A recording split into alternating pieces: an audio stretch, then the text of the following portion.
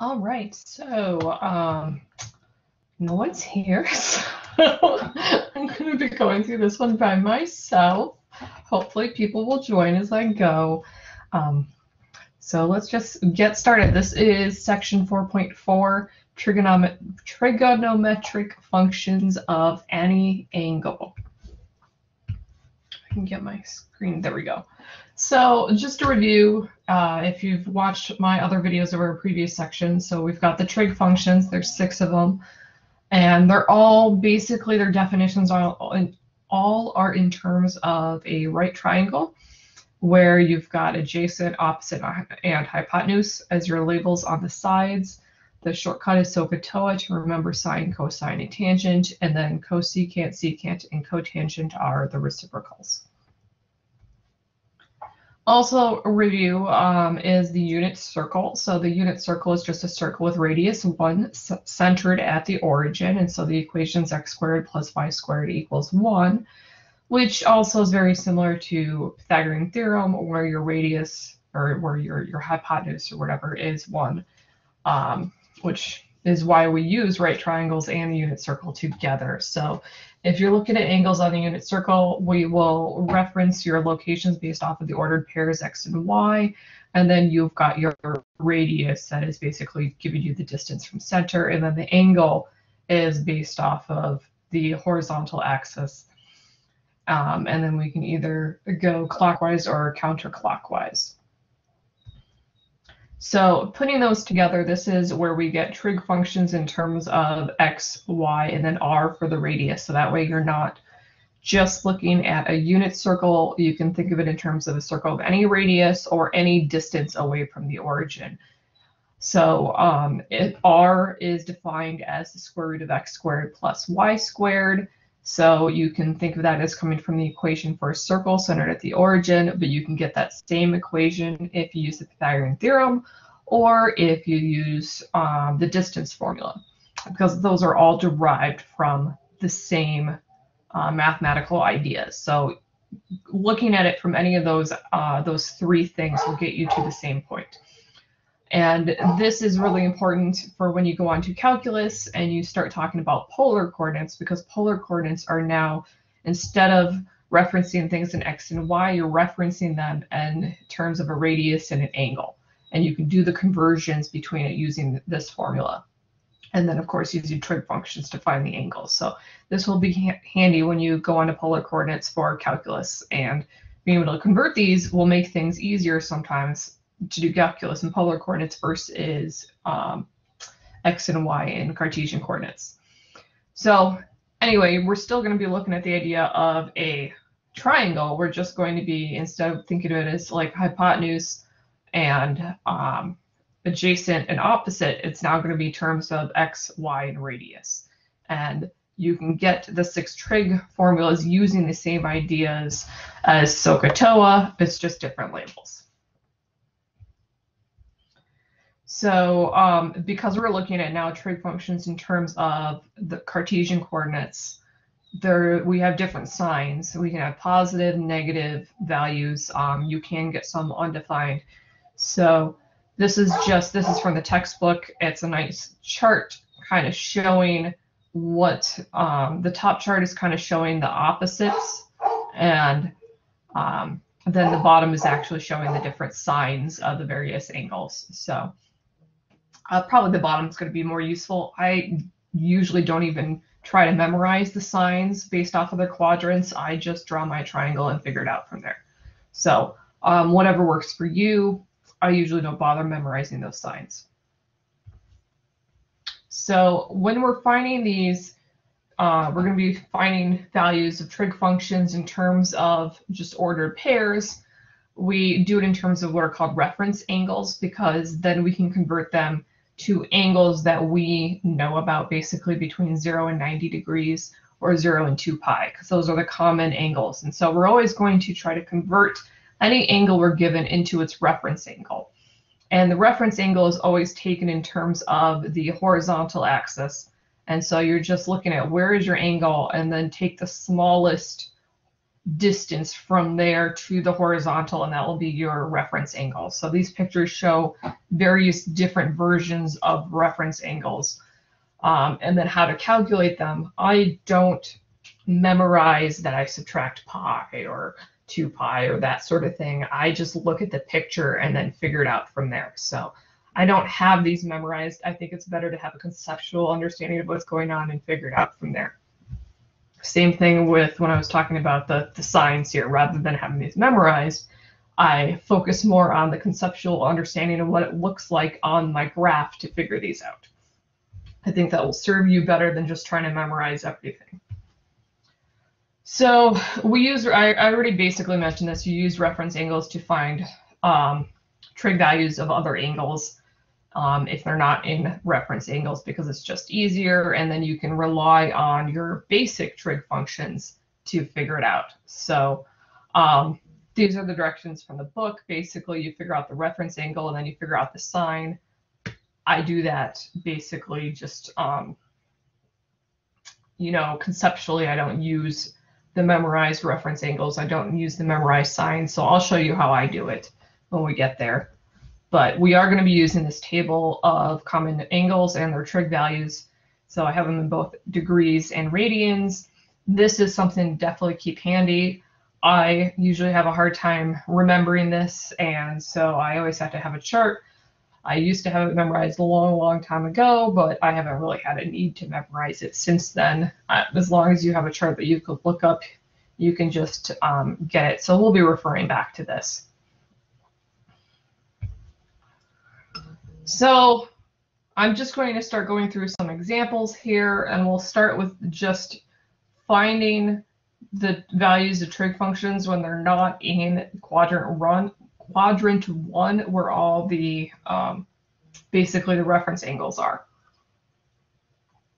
So here we have our angle and you can see it drawn on our graph. So the angle is clearly bigger than 180 degrees because 180 degrees would be going through quadrant one and quadrant two. So we know that our angle is larger than 180 and we know it's smaller than 270 because 270 degrees would be if you were um, right at this location right here. So I already know that my angle is going to be between 180 and 270 degrees. And so we're going to find the exact value of the six trig functions based off of what I have here. And believe it or not, you don't even need to find out what the angle is we can figure out the six trig functions without actually knowing what that measurement is. And we do this by drawing our triangle in terms of the reference angle. So think of this as our horizontal axis. And we have our line going this way, and then this is at negative 12 and negative 5 right here. So we're going to draw a triangle here. And then this is our reference angle, the, the angle between that's basically to the horizontal based off of our triangle. So the ordered pair, our x is negative 12. So I have that distance as negative 12. And then our y is negative 5. So that's our distance for the vertical. So this translates into a right triangle where we have sides of negative 12 and negative 5.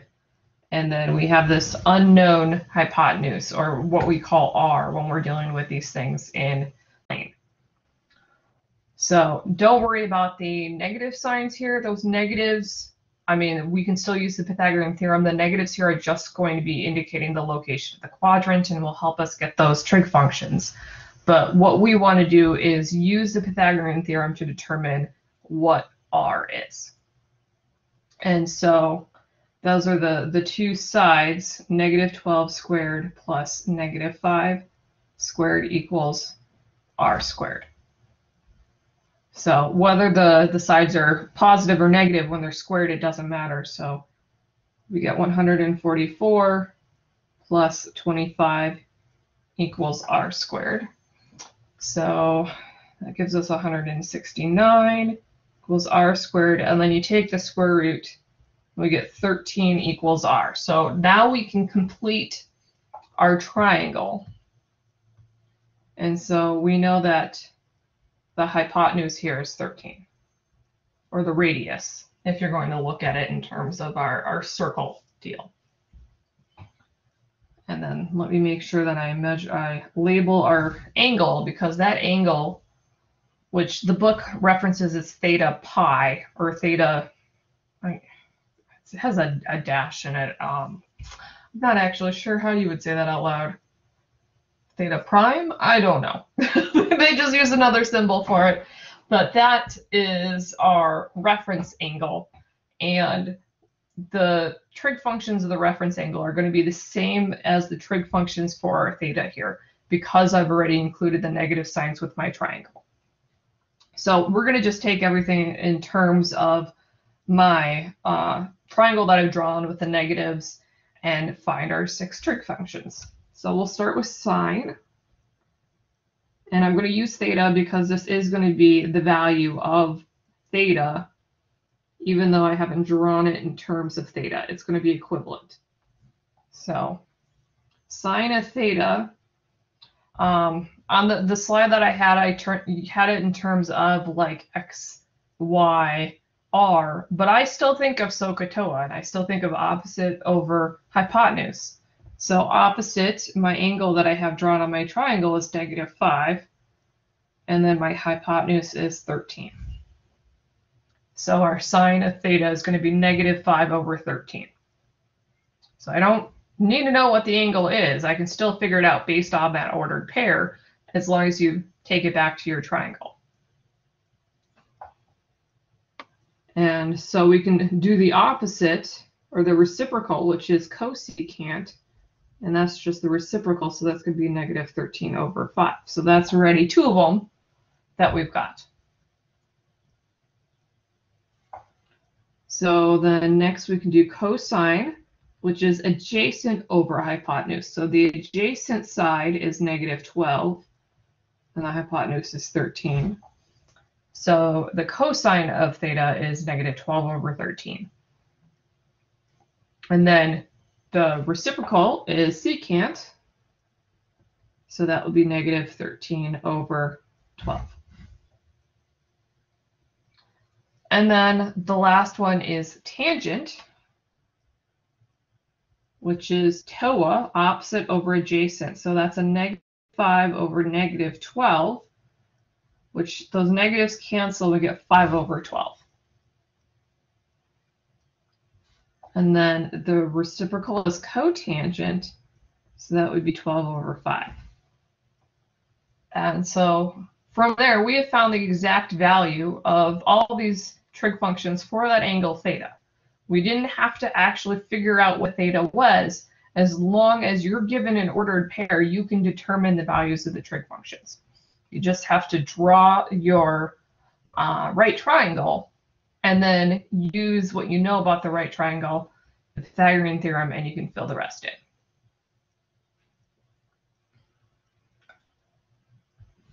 So let me do another one here. So here we've got theta, which is now going all the way around, and now we're in quadrant four.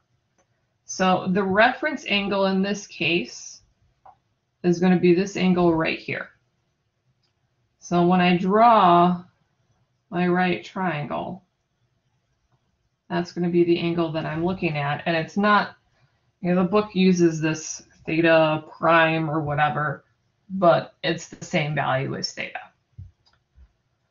So I label my sides based off of the ordered pair. So the x value is 1, so the distance from 0 to that point here is going to be 1.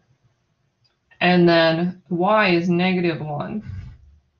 And then I need to use the Pythagorean theorem to fill in that missing angle, or missing side, not angle, the hypotenuse here. So we've got 1 squared plus negative 1 squared equals r squared. So r is that hypotenuse. That's 1 plus 1 equals r squared. So that's 2 equals r squared, which then means the square root of 2 is equal to r. So I'm going to label that hypotenuse as square root of 2. So from here, I know that this is going to be one of the special angles. Um, and anytime you end up with like a square root of 2, you're going to, it's basically going to be a 45 degree reference angle. So I know that this is a 45 degree angle right there, which means I can even determine that the the reference angle is 45 degrees, then the other angle is 360 minus 45, um, whatever that comes out to, 300 and whatever. But we don't need to know that. All we really need to know is our drawing, and then we can use SOHCAHTOA to find the trig functions, or if you recognize that that's a 45 degree angle, um, you would go to your chart for what the trig functions are for a 45 degree angle, and then you would go to that chart of the signs to figure that out. So this is a 45 degree angle. So to find like sine, cosine, and tangent of 45, we'd be looking at this. And then you would have to figure out your signs based off of the fact that we are in quadrant four right there. Now, like I said, um, I don't have those memorized. I don't do it this way. I don't say, okay, I've got 45 degrees. What are my sine, cosine, tangent? Okay, which quadrant am I? Are they supposed to be positive or negative? I go back to the unit circle. So that's what I will be doing here. So I just use that unit circle to find my sine, cosine, tangent, and then I don't have to look things up. So sine of theta is going to be sine of what I have labeled as theta prime. It's opposite over adjacent, so that's negative 1 over the square root of 2. Now, we do want to convert that. We want to rationalize the denominator. We don't want to have a square root of 2 in there. And this is equivalent to negative square root of 2 over 2. So if you multiply the top and the bottom by the square root of 2, then the denominator becomes 2 and the square root of 2 becomes on top. So um, we saw square root of 2 over 2 on that table. And then, let me go back to the table. Sine is square root of 2 over 2. And then based off of our chart here, sine is negative. So we get negative square root of 2 over 2. But I got the same answer just by using the, the right triangle. So that's why I do it this way, because then I don't have to, there's fewer things for me to memorize this way. Rather than memorizing that chart and then memorizing the signs, I can just draw my triangle and go from there. So um, the cosecant is the reciprocal. So I'm going to take the reciprocal of what I first wrote down, and that would give me negative square root of 2. Because if I took the reciprocal of my equivalent, the negative square root of 2 over 2, then I have to rationalize the denominator again. But if I took the original, what I wrote down, then I don't need to.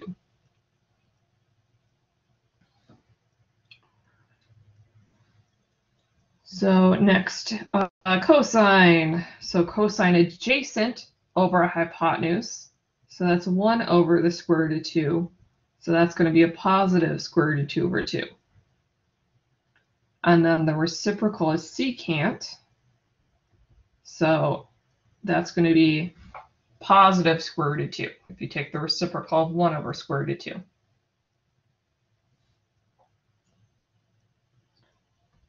And then tangent is opposite over adjacent. So opposite is negative 1, adjacent is 1. So that becomes negative 1. So negative 1 divided by 1 is negative 1. And then cotangent is the reciprocal, which is still negative 1. So from there, I was able to get my six trig functions just by basically using the reference angle and drawing my triangle and using the Pythagorean theorem. So Paul, I know that you joined in the middle of the previous example. Now you've seen one full example. Do you have any questions so far? Uh, I, I don't. I think it uh, was pretty clear. Thank you. Okay. So I will go ahead and do one more of this style and then we'll move on to different types. so here, sorry, I'm just readjusting my seat. um, we're now in, in quadrant two. And so I'm just going to make sure I'm going to draw that right triangle. And use the ordered pair. So my x is negative 2. And the y is the square root of 21. So this is going to give us some interesting numbers because we have square roots in here. Um, this definitely is not one of the special angles that we have in the chart. So the only way to really do this would be to use the, the right triangle method that I use. So first, we need to find our hypotenuse, which we label as r in this case. So um, it's the square root of 21 squared plus negative 2 squared equals r squared. So when we square the square root, those cancel, we're left with 21.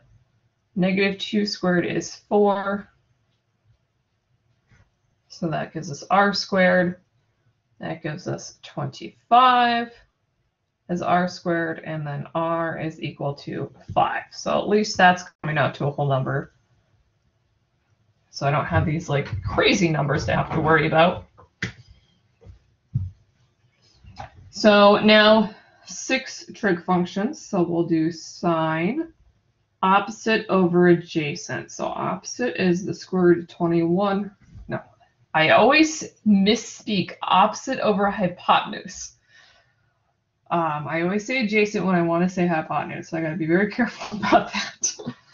so it's the square root of 21 over 5. And then the reciprocal is cosecant so that's 5 over the square root of 21. Now to rationalize this one, we multiply the top and the bottom by the square root of 21. So now we have a square root of 21 on the top, and then the square root cancels in the denominator. So we get 5 times the square root of 21 over 21. And the 5 and the 21 don't reduce. They don't have anything in common. cosine adjacent over hypotenuse. So that's negative 2 over 5. And then secant is the reciprocal, so that's going to be a negative 5 over 2.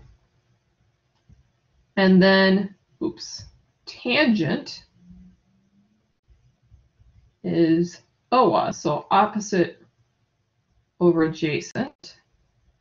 So negative square root of 21 over net, over 2.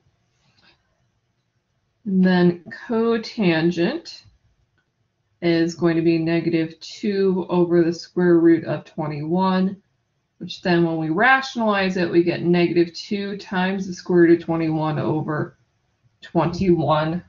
And the 2 and the 21, those can't reduce, so it does look kind of nasty here. But that gave us our six trig functions. We didn't have to use a calculator. We just drew a picture, was able to use the Pythagorean theorem, and we got all the signs in there correct. So we didn't have to worry about memorizing what are the signs supposed to be in my, my quadrants.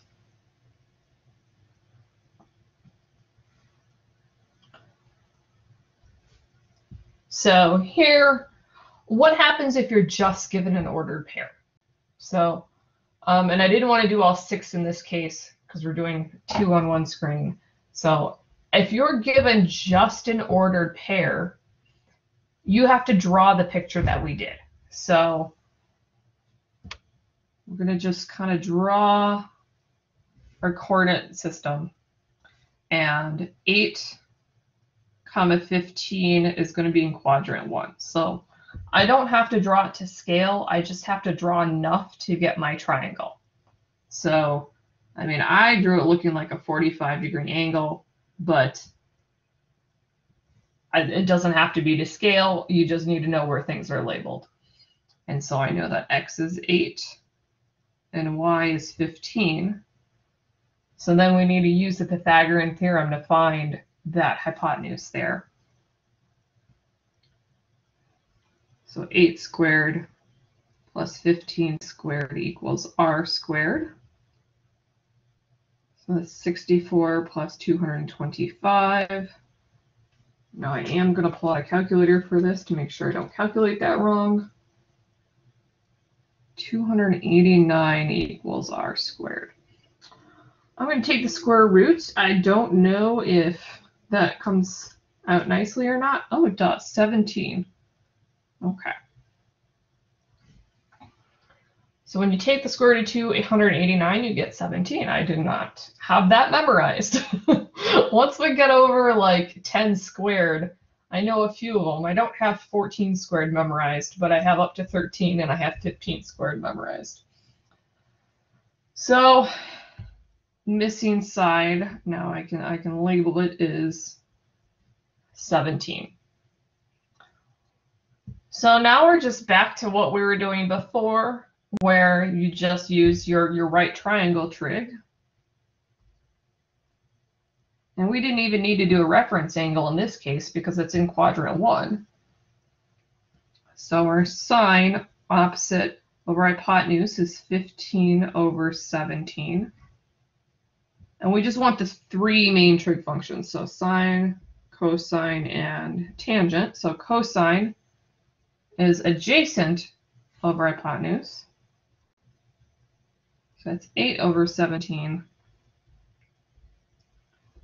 And then tangent is opposite over adjacent, so that's 15 over 8.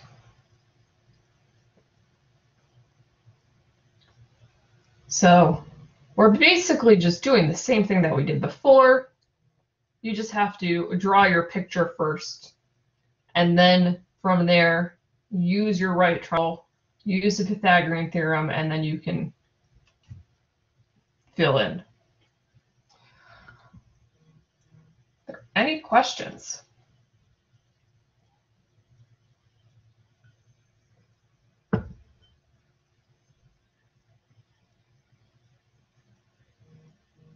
Okay. Um, I'm actually going to skip the, the example on the right because I think this is pretty straightforward. The next examples that I have are trickier, so I think I'd, I would rather spend more time on those so we can really get a full understanding here. So we want to find the exact value of the remaining trig functions. So they're giving us one of the trig functions. Um, and we're given the following conditions. So this involves some more thinking. So we have cosine of theta is equal to 8 over 17. And tangent of theta is less than 0. So that means the tangent here is going to be negative. So um, this might be where you might want to be able to reference the chart with the signs of the trig functions because that could save you some time. I'm going to show you how to kind of figure this out if you did not memorize that chart or have it handy, just so you can see the process, the logical thinking process behind it. And then for others like this, we can go to the chart because it will make things a little bit easier. But first thing, cosine um, is adjacent over hypotenuse. So I'm going to just draw a right triangle and just label my angle. And my adjacent oops, is 8, hypotenuse is 17. Now we actually just literally had the same sort of triangle. We know the missing side is 15 here. But what you would do is once you would draw your triangle, you would use the Pythagorean theorem to find the missing side. Now we already did that because same numbers as the pre previous example. So this cosine of theta equals 8 over 17 allows us to draw our right triangle. That's enough information for that. Now the tangent part is how you determine um, where your positive and negatives are. So tangent is opposite over adjacent. So to get a negative tangent, you either need to have a negative opposite or a negative hypotenuse. One of those numbers needs to be negative. But we have to be careful because we still have to keep our positive with the cosine.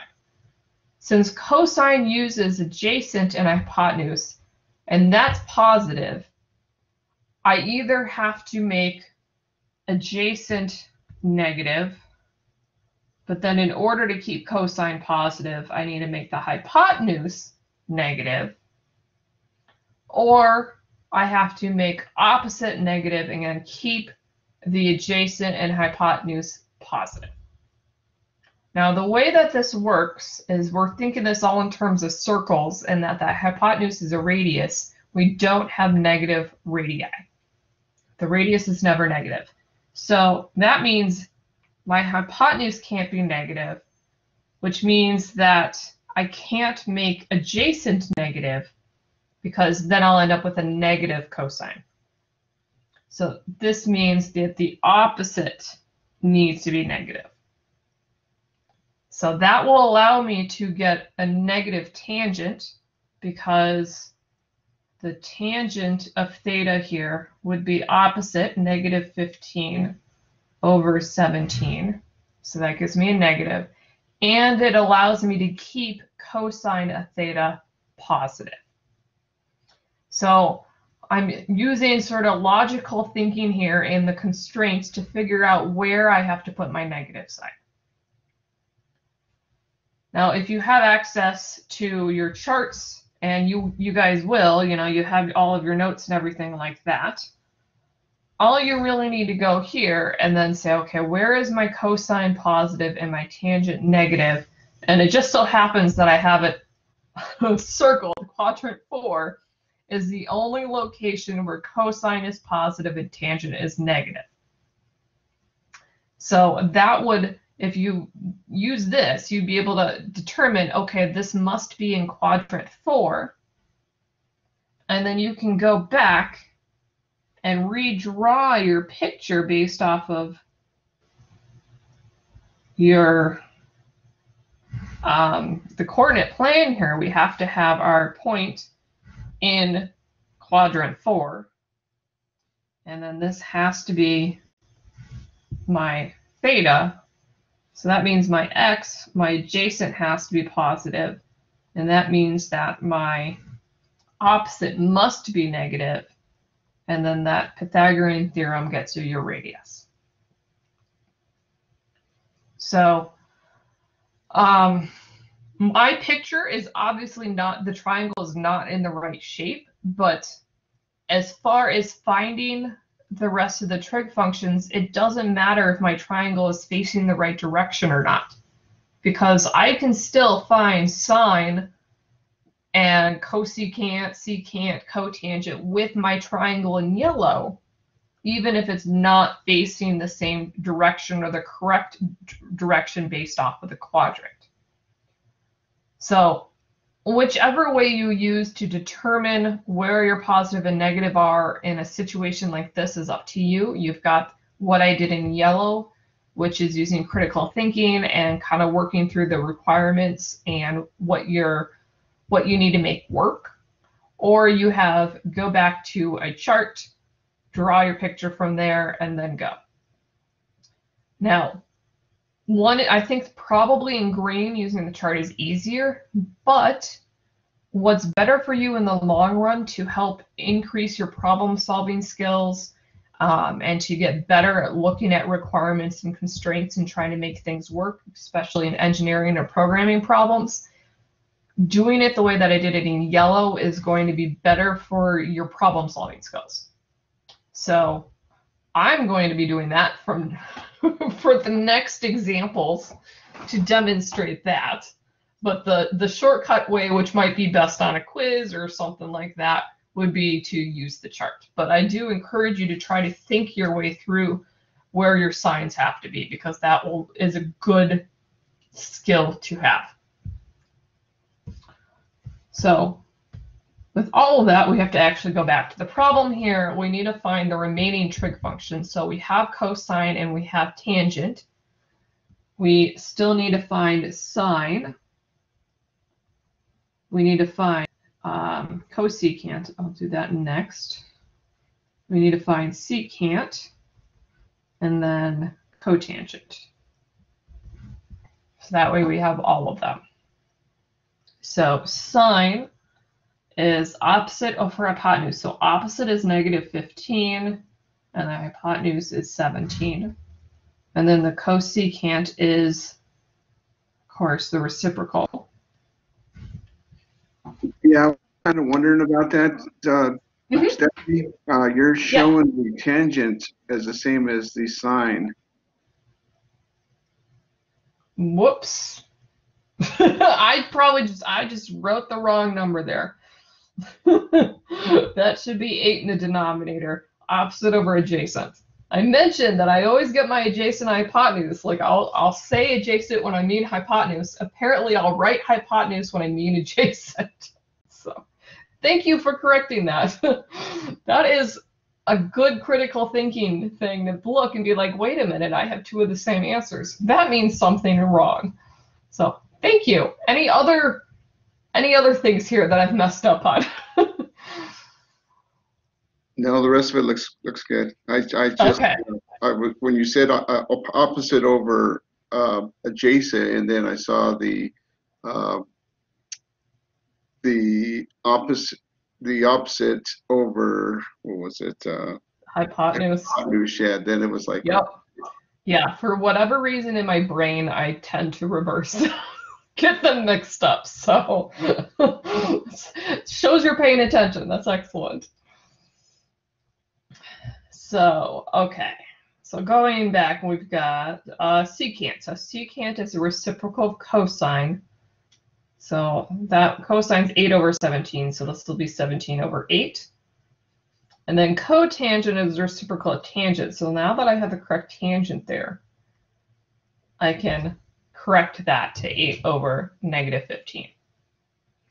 So good catch there. Otherwise, I'd have my cotangent wrong too, and then we'd have issues. So let's look at this one. And this one's a little tricky because now we're not given a fraction. Um, so same sort of situation. We're given one trig function and its its value basically, and then this time we know what quadrant it, it's in. So because I know what quadrant it is, it's in quadrant two. I'm going to just draw my triangle based off of quadrant two. And then make sure I, I label my angle. So to do this with the sine, so sine of theta is opposite over hypotenuse.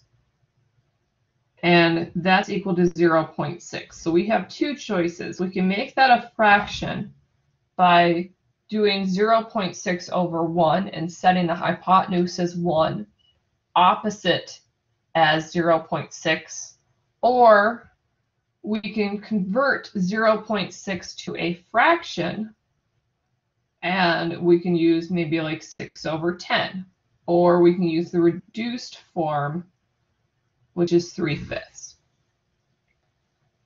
I personally prefer to convert it to a fraction so that I don't have to deal with decimals when I fill in my right triangle.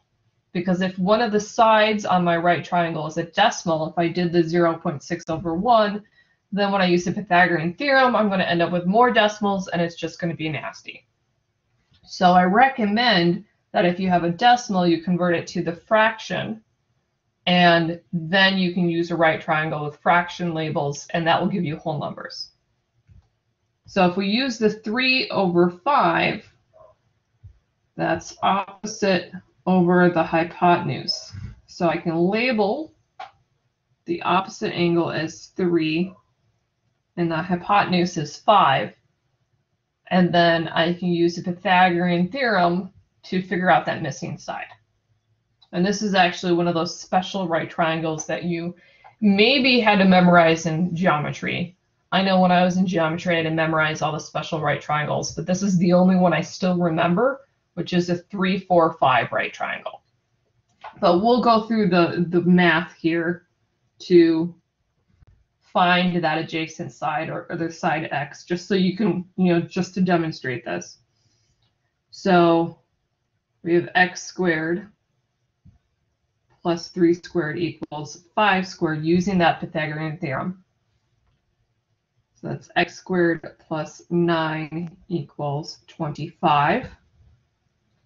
So subtract 9 from both sides, we get x squared equals 16, and then x equals, whoops, not 14, 4. so we get that missing side as 4.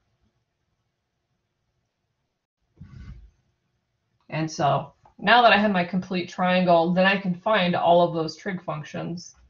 So we were given that the sine is 0.6 or 3 fifths.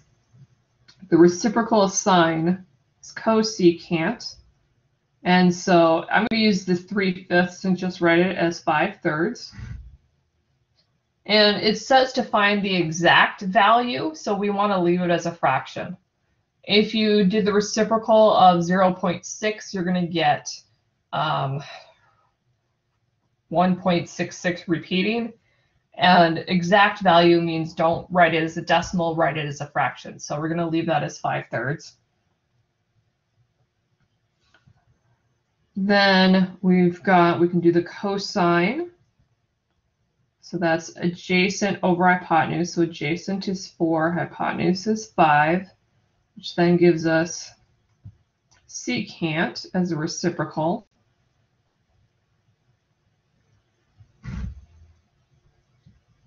And then tangent, opposite over adjacent. So that's 3 fourths, which means cotangent is 4 over 3.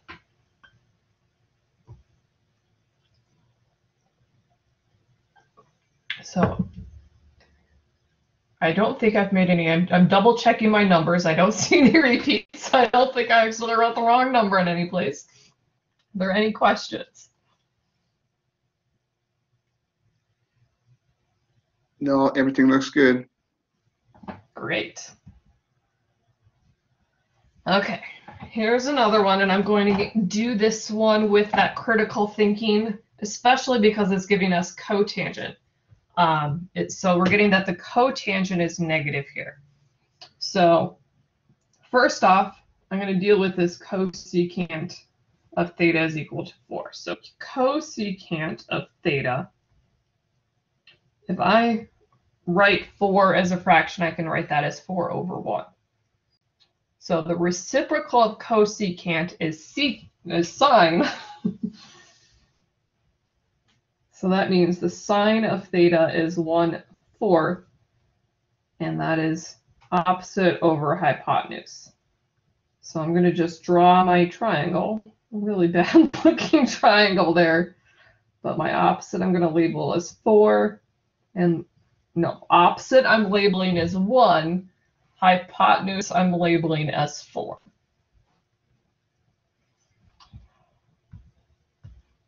So now, actually, before we even deal with the cotangent stuff, let's just use the Pythagorean theorem to find the missing side. So we're looking for what x is. 1 squared plus x squared equals 4 squared. So that's 1 plus x squared equals 16. So x squared is 15 so x is going to be the square root of 15. So I'm going to just label that right here. So cosecant is positive, which means the sine is positive, and so our opposite and our hypotenuse have to be positive. So now let's deal with the cotangent here. So cotangent is 1 over tangent. So tangent is opposite over adjacent. So this is adjacent over opposite. Now cotangent needs to be negative. And because cosecant is positive, sine is positive, and so the opposite over hypotenuse is also positive. Those will both be positive in order to have a positive result. So using that thinking process, that means in order to get a negative in cotangent, adjacent must be negative. So that adjacent side needs to be a negative number for all of this to work out. So that means this is a negative square root of 15 on that side. So that will keep our opposite over hypotenuse positive, and it will make our cotangent negative because we'll have a negative 15 over 1. So cotangent of theta is going to be negative, neg negative square root of 15 over 1, or just negative square root of 15. And so that gives us our right the sign because it says the cotangent needs to be less than 0. So now that I've determined the signs there, I can find my tangent, which is the reciprocal. So that's going to be a negative 1 over the square root of 15, which when you rationalize, you multiply the top and the bottom by the square root of 15. So that's going to be negative square root of 15 over 15. Maybe I should start circling these because I kind of have all these answers all over the place. so we've got four of them so far. Last one is cosine. Just my my work is really all over the place here. Try to don't follow my mess of work here. This is not organized. Um, cosine adjacent over hypotenuse. So the adjacent is negative square root of 15. Hypotenuse is 4. And then the reciprocal is secant. So that's going to be a negative 4 over the square root of 15. And that gives me my last two values, and I've now found six to all the six trig functions. Any questions?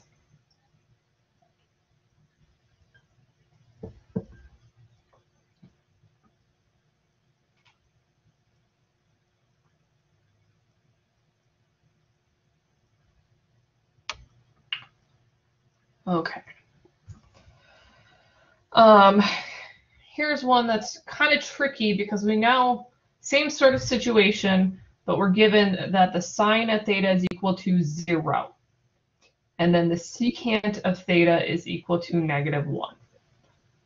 So when we draw our right triangle, we've got a thing when you're like, well, wait a minute. If one of these is zero, what does that mean?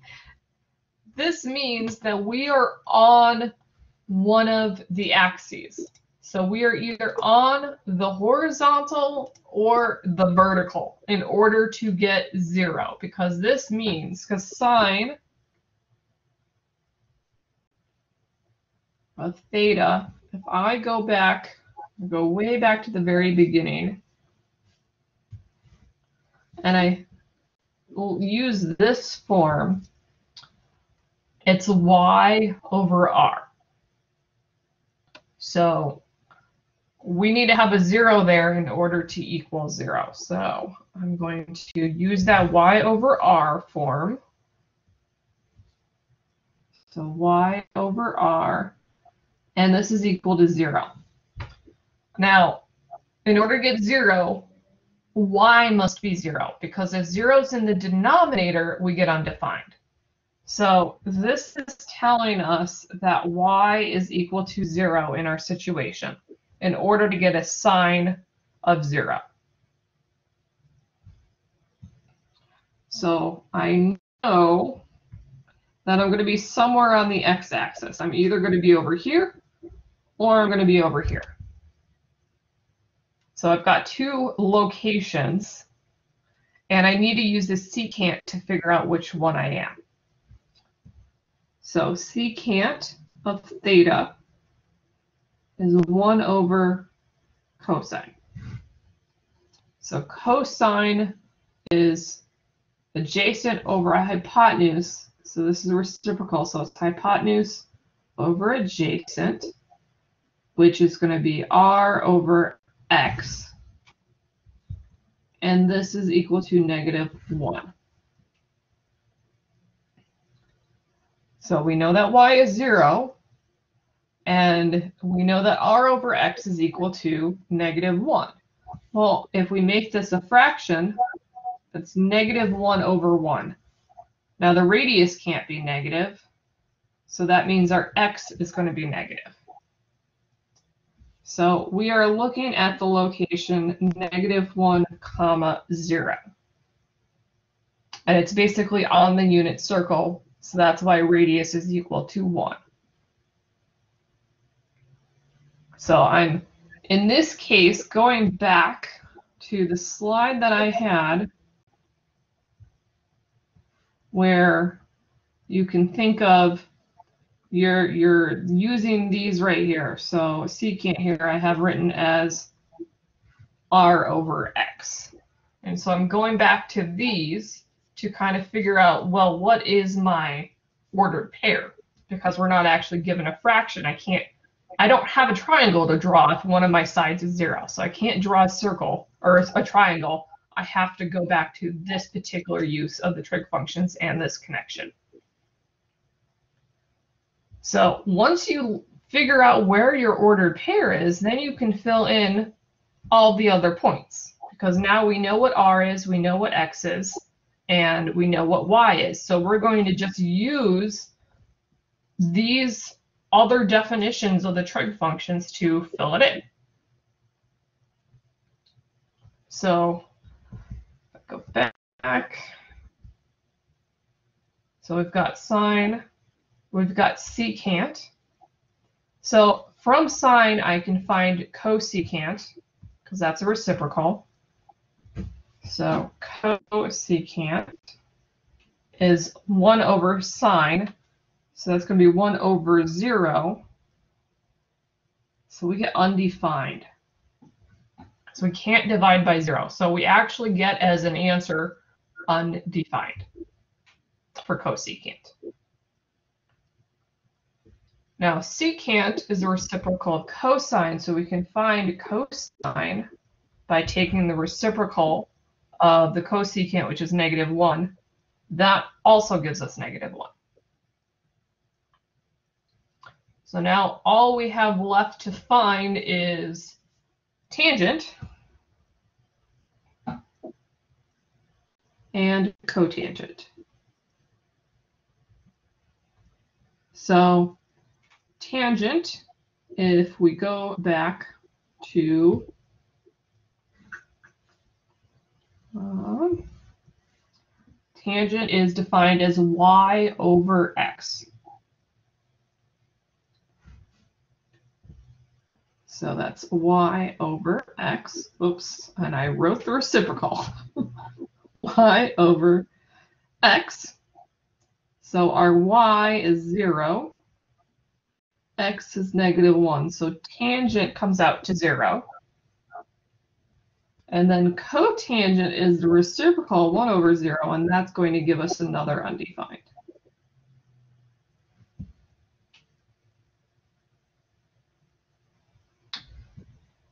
We can verify that all of our answers here are correct by thinking about it in terms of the angle. So this is a 180 degree angle here to get to that location. And if we go to our chart, we can look at um, 180 degrees, and you can see the sine, cosine, and tangent there. And then, of course, you can find the reciprocals from there. So you can at least verify sine, cosine, and the values of tangent, and then find the reciprocals to find the other part.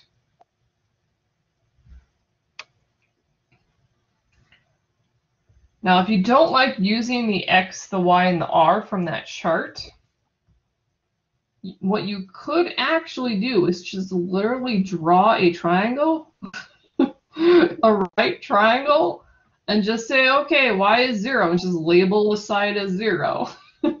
I mean, as long as you know that there's no actual triangle with a side of zero, you can still use the triangle with that label and use SOHCAHTOA.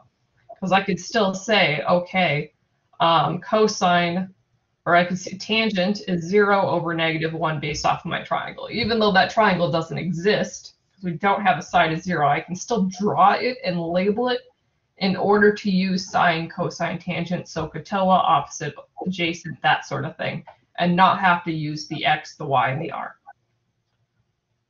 So that is completely fine. Any questions?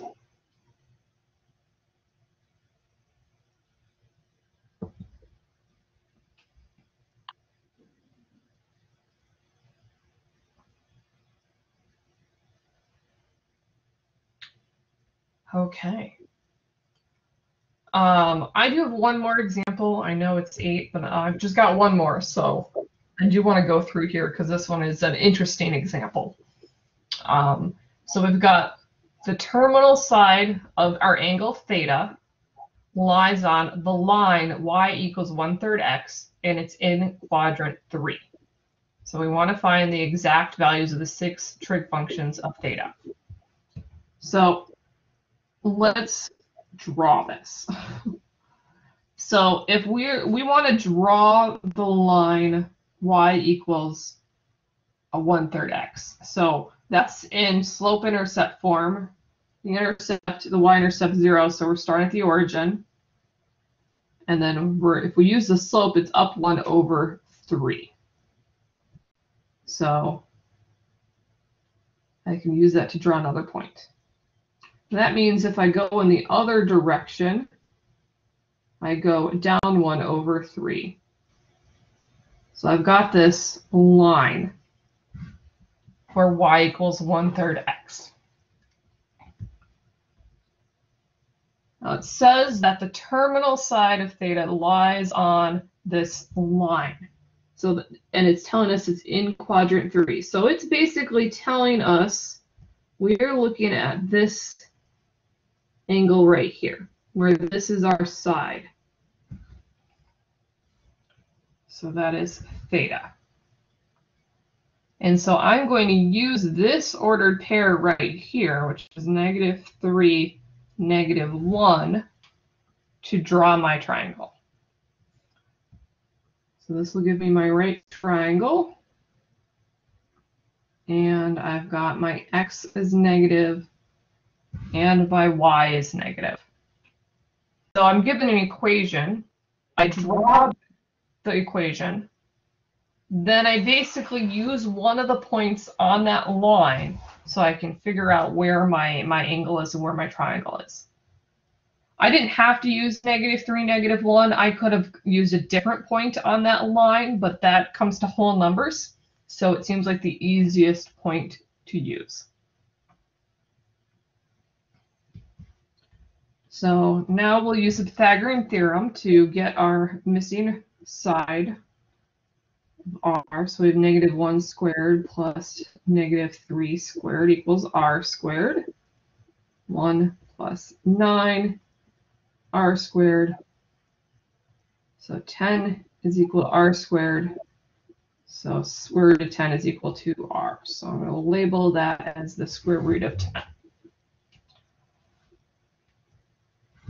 And now I can find my six trig functions because now I have all of the numbers that I need. So we'll start with sine. So opposite, which is negative 1, over hypotenuse, which is square root of negative 10, which we rationalize. That gives us negative square root of 10 over 10. And then the reciprocal is cosecant, and so that will give us negative square root of 10 over 1, or just negative square root of 10. Cosine adjacent over hypotenuse. So that's negative 3 over the square root of 10, which rationalized is negative 3 times the square root of 10 over 10. And then the reciprocal, which is secant, will be negative square root of 10 over 3. And then we have tangent, which is opposite over adjacent. So that's equal to 1 third because our negatives cancel out. And then the cotangent is the reciprocal, which will be 3. And then that allowed us to find the six trig functions. So if you have an equation of a line, you can always find the angle between that line and either your horizontal axis or your vertical axis by basically drawing a right triangle based off of a point on the line and then using the trig functions. So um, we'll actually get into that uh, next week, actually, week seven. We do talk about the angle between two lines, and you kind of use this idea where you start using like trig functions to figure that out. So this will lead into that. Any questions?